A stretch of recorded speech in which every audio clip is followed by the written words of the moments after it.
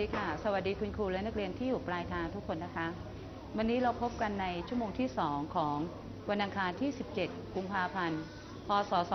2558 นะคะ นักเรียนคะตอนนี้นักเรียนกำลังกำลังเรียนรู้เกี่ยวกับเรื่อง การบวกลบคูณหารและคน การบวกนักเรียนเรียนแล้ว ลบ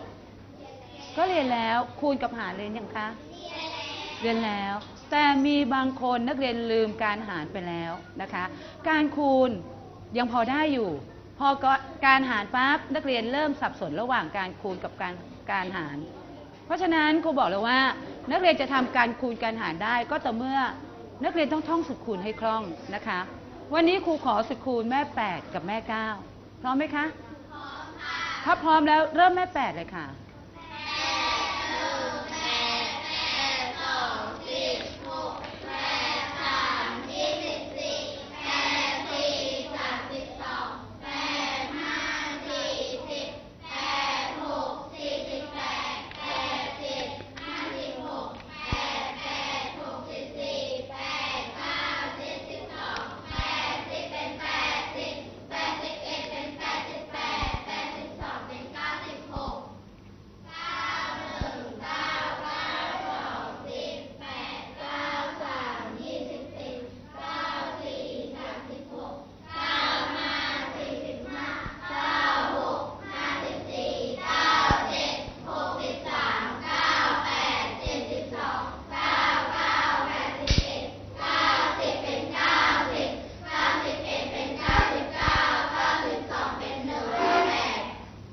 9คูณ3ได้เท่าไหร่นะคะ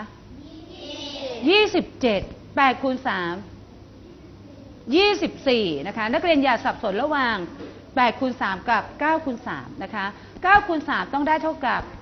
27ถ้า8คูณ3ต้องได้เท่ากับ24ใครยังท่องสุดคูณแม่8ไม่ได้บ้าง ให้กลับไปทบทวน เพราะว่าเราใกล้สอบแล้วนะคะ รวมทั้งสุดคูณแม่9ด้วย ถ้าสุดคูณแม่9นักเรียนไม่ได้ นักเรียนสามารถใช้อวัยวะส่วนใด นิ้วมือ ลืมไปหรือยังคะเออยังไม่ลืม เพราะฉะนั้นเรานำมาใช้ในการสอบได้เช่นเดียวกันนะคะ วันนี้ครูคงอยู่ในเรื่องของการบวกลบคูณหารและคนนะคะ แต่ก่อนที่จะไปเรียนรู้ต่อครูขอไปที่วิชวลก่อนค่ะครูขอนำเสนอผลงานของนักเรียนที่อยู่ปลายทางก่อนนะคะ เป็นผลงานของนักเรียนโรงเรียนบ้านคำหมื่นตชดนุสรณ์นะคะอำเภอเมืองบึงการจังหวัดบึงการ คนแรกเลยที่นักเรียนเห็นเห็นไหมคะ เริ่มต้นรายการด้วยรอยยิ้ม เห็นฟันทั้งหมดเลย32ซี่เห็นหรือเปล่านะคะ ของคนแรกเลยนะคะเป็นของเด็กชายรัฐพงศ์ค่ะ คนที่สองค่ะ ของเด็กหญิงชนทิชาค่ะ ต่อไปค่ะของ เด็กชายพีรพัฒน์ค่ะ คนต่อไปเป็นของวิภากรค่ะ ต่อไปค่ะ ของสุภัตรานะคะ ต่อไปเป็นของชมพูนุชค่ะ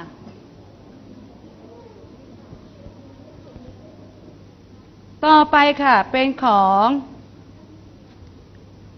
กิตพักค่ะ ต่อไปค่ะ เป็นของไม่ทราบว่าครูอ่านชื่อผิดหรือเปล่า เพราะชื่อมาแบบนี้นะคะ ครูจะอ่านว่า พอพานต่อเต่าชอช้างรอเรืออ่านว่าพจชรไม่ทราบว่าถูกหรือผิดนะคะ ถ้าผิดก็ขออภัยไว้ด้วยนะคะ ของพจชรค่ะ ต่อไปค่ะ เป็นของอัควิทย์ค่ะ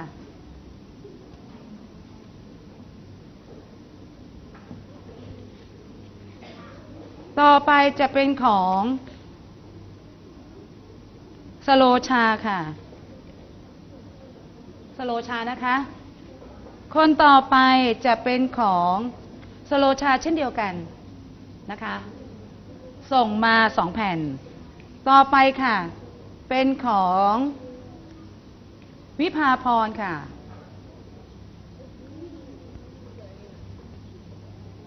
แบบนี้ค่ะ ต่อไปค่ะ เป็นของชมพูนุชค่ะ สุดท้าย จะเป็นของชนทิชาค่ะครูขอขอบคุณนะคะ คุณครูอุดมสกุลก้านะคะ ที่ส่งผลงานนักเรียนมานำเสนอในวันนี้ปรบมือให้กับโรงเรียนคำหมื่นจอจรนิสรณ์ค่ะครูขอไปที่สไลด์ต่อเลยแล้วกันนะคะ วันนี้เราอยู่ในเรื่องของการบวกลบคูณหารละคน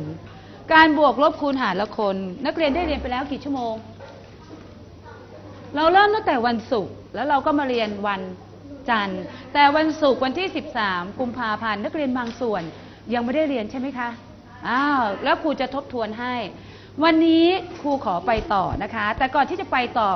วันนี้มีนักเรียนจากโรงเรียนที่อยู่ปลายทางนะคะ จากจังหวัดยะลา มาเยี่ยมชมโรงเรียนวังไกลกังวลด้วยนะคะครูขอไปที่นักเรียนคนแรกเลย เดี๋ยวนักเรียนรายงานตัวนะคะ ชื่อนามสกุล ชื่อเล่นด้วย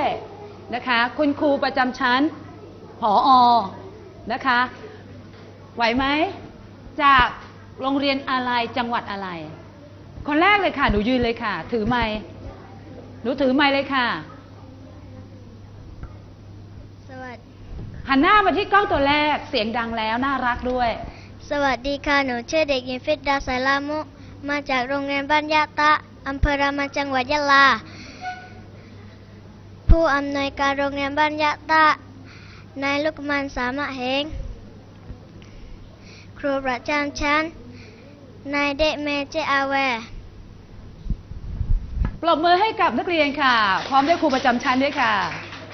ต่อไปขอคนที่สองเลย สวัสดีค่ะ หนูชื่อเด็ กหญิงวหิดาสามะแกมาชื่อจากเล่นชื่อเล่นชื่ออะไรคะ ดา ปรบมือให้กับเพื่อนด้วยค่ะ คนต่อไปขอแค่ชื่อกับชื่อเล่นนะคะ ขอชื่อกับชื่อเล่นค่ะ สวัสดีค่ะ หนูชื่อเด็กหญิงซอบพยาตาเละชื่อเล่นยาค่ะ ปรบมือให้เพื่อนค่ะ เชิญเลยค่ะส วัสดีครับ ผมชื่อเด็กชายมาซากิปาโลชื่อเล่นชื่อกีปรบมือให้เพื่อนค่ะ แล้วด้านหลังก็จะเป็นคุณครูประจำชั้นนะคะ ครูผู้ควบคุมค่ะ ปรบมือให้คุณครูด้วยค่ะ ส่วนนักเรียนอีกหนึ่งโรงเรียนหนูแนะนำตัวยังคะแนะนำตัวยังคะอ้าวยังขอเชิญค่ะ ลุกขึ้นยืนเลยค่ะ สวัสดีค่ะ หนูชื่อเด็กหญิงนลิสาคมขำอยู่ชั้นประถมศึกษาปีที่ 4 โรงเรียนวัดท่องกระได จังหวัดพิษณุโลก ผู้อำนวยการโรงเรียนชื่อ นางแจ่มจิตสุรจิตค่ะ โอ้ดีมากค่ะ คนต่อไปเลยค่ะ สวัสดีครับ ผมชื่อเด็กชายรัตวงศ์พิมพ์สอนดูชื่อเล่นชื่อน็อตครับ สวัสดีครับ ผมชื่อเด็กชายวิธิพงศ์อุ่นเทชื่อเล่นชื่อหวาครับ ปรบมือให้กับเพื่อนที่อยู่ปลายทางด้วยค่ะอะตอนนี้เรารู้จักกันแล้วครูขอไปที่สไลด์เลยค่ะ ไปที่สไลด์นะคะ สไลด์ยังอยู่ในเรื่องของการบวกลบคูณหารละคน ตอนนี้ให้ทุกคนนั่งหันหน้ามาที่จอโทรทัศน์นะคะ นักเรียนอ่านคำสั่งพร้อมกันดังๆค่ะ พร้อมค่ะ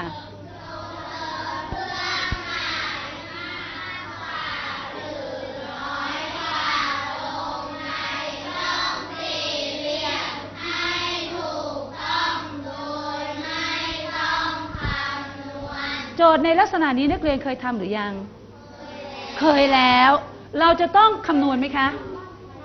โจทย์บอกว่าไม่ต้องคำนวณ เพราะฉะนั้นจะต้องมีวิธีการสังเกต ตอนนี้ให้นักเรียนทุกคนหยิบสมุดคณิตศาสตร์ขึ้นมาค่ะ เขียนมาที่เรียบร้อย นักเรียนเขียนคำสั่งลงสมุด พร้อมเขียนโจทย์ด้วย ถ้านักเรียนเขียนโจทย์ลงสมุด นักเรียนจะเห็นชัดเจนว่า เอ๊ะ เราควรจะใส่เครื่องหมายอะไร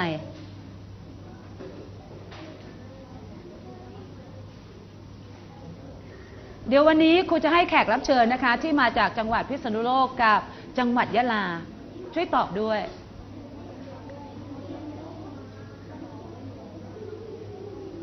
นักเรียนโรงเรียนวังไกลกังวล แล้วก็นักเรียนที่อยู่โรงเรียนปลายทางนะคะ นักเรียนเขียนลงสมุดเลยค่ะ พร้อมด้วยโรงเรียนบ้านม่วงโตนนะคะอำเภอดอยสะเก็ดจังหวัดเชียงใหม่ด้วยนะคะ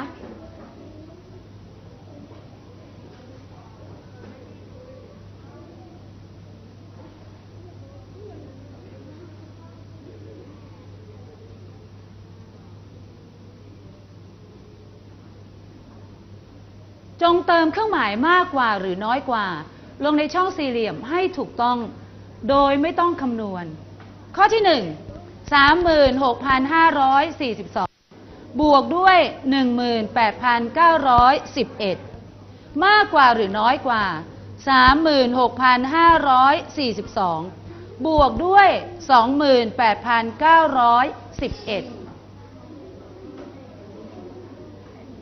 ทุกคนเขียนโจทย์ลงสมุดด้วย แล้วใส่เครื่องหมายเปรียบเทียบเลยค่ะ การใส่เครื่องหมายเปรียบเทียบนักเรียนใส่ได้เลย ไม่ต้องเขียนช่องสี่เหลี่ยม เสร็จยังคะ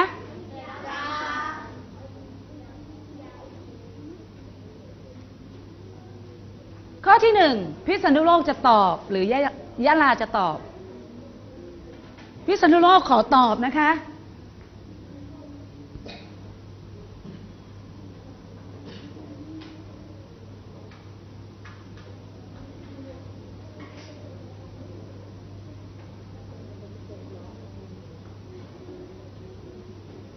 ยังไม่เสร็จยกมือ